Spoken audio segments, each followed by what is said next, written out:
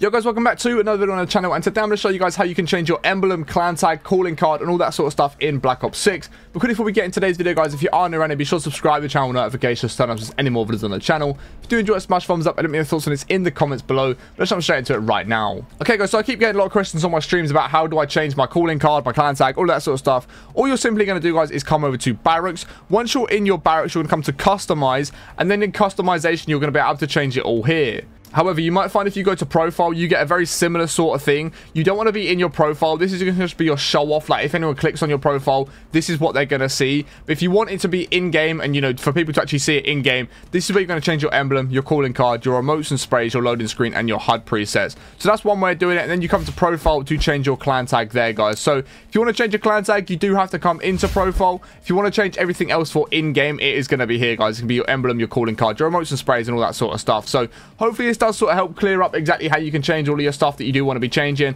Like I said, your clan tag is going to be in um, the profile section. Then everything else is going to be in the other section. But if you also want to change your mastery showcase, you can do it all here. So you've got a calling card showcase. Now people are going to see that. They're going to see your free best calling cards. They're going to see what operator you choose. They're going to be able to see your wallpaper that you choose. So you can set a wallpaper for it if you wanted to do something like that. And then you also have the ability to change your mastery badge showcase as well. So you can change these out here. But if anyone's going to click on your profile and just see you in-game, it's going to be these emblems and calling cards that they're going to see. And then you can change your emotes and sprays as well, guys. But hopefully today's video has up Jack. If it has, be sure to smash thumbs up, subscribe channel notifications, turn on Smith and all on the channel. Let me know your thoughts on this in the comments below. But I appreciate you watching. Guys, and have an amazing rest of the day. And I'll catch you in the next one in a bit.